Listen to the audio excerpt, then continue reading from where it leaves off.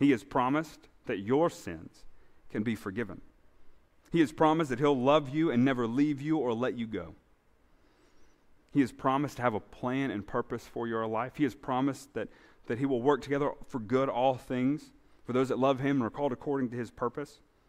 He has promised that we would have every spiritual blessing in heavenly places, that He would finish the work that He began in us the moment of salvation. He has promised new grace and new mercy every new morning. He has promised peace and joy and life and life everlasting.